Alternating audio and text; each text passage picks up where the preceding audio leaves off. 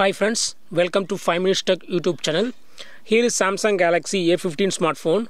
In this video, you will learn how to fix Bluetooth problem in your phone Samsung Galaxy A15. If you have any Bluetooth problem while connecting to your headset or any other Bluetooth enabled device, you can easily fix it.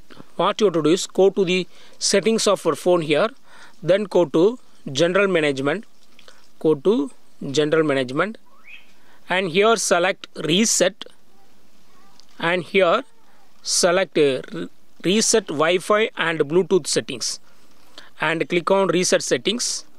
Bluetooth and Wi-Fi settings has been reset now. This will reset all your Wi-Fi and Bluetooth settings and this cannot be undone. Okay. Again I do it. So in this way you can easily reset Bluetooth and Wi-Fi and then Bluetooth problem will be solved. Now freshly connect your Bluetooth enabled device to your phone and it will be resolved.